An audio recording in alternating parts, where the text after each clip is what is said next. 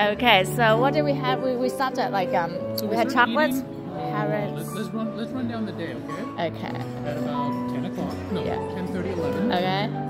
We had a full English breakfast. Well, stop. No details. We just want like you know we had chocolates. We had full English We breakfast. chocolates. We had um lobster, lobster. and then we had fish and chips, and then we had well Diabetic shock.